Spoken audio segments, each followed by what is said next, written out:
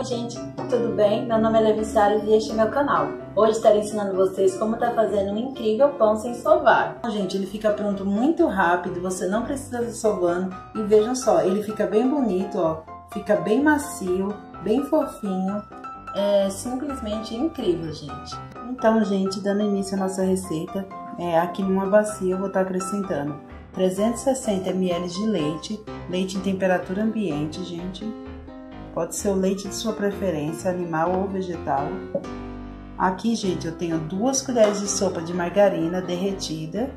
É, vocês podem estar derretendo no fogo ou no micro-ondas e tem que esperar ele esfriar. Dois ovos. Agora vamos estar acrescentando aqui duas colheres de sopa de açúcar, duas colheres rasas. Uma colher de sobremesa de sal,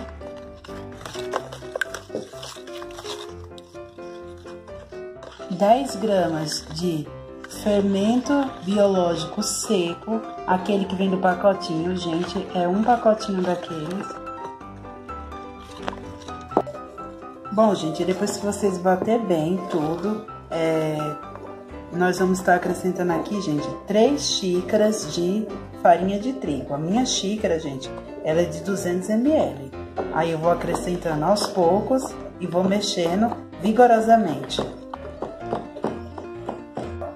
Bom, gente, é, então vocês vão mexer bem a massa de vocês por uns 3 minutos aproximadamente. Não precisa sovar, gente, porque esse é um pão de massa mole, é, então não precisa sovar.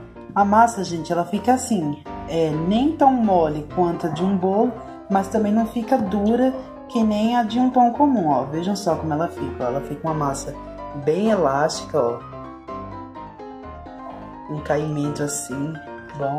Aí a gente vai estar tá colocando aqui na forma, deixar crescer e depois levar pro forno. Bom, gente, então meu pão já ficou aqui crescendo. Agora eu vou retirar ele do meu micro-ondas, que foi onde eu deixei descansando. Vejam só, gente, o quanto que ele cresceu.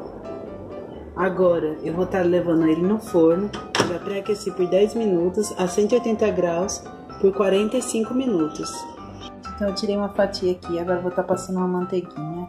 Olha só, gente, derretendo a manteiga, ele ainda tá bem quentinho. Eu acabei de tirar ele do fogo, gente. É, tem gente que gosta de esperar, gente, mas eu gosto de comer ele assim, do jeito que sai do fogo. Vou estar tá experimentando aqui pra vocês.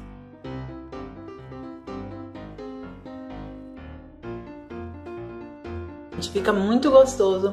O sabor fica bem gostoso, gente. Fica com um docinho assim de leve, mas não fica predominante. Fica bem gostoso. A manteiga também dá um saborzinho bem interessante. E, gente, ele fica parecendo um pão sovado. Ele não perde em nada num pão sovado. Eu particularmente acho até mais gostoso, porque eu acho que ele fica mais úmido, assim, a massa, mais molhadinha. Então, gente, eu espero muito que vocês tenham gostado dessa receita.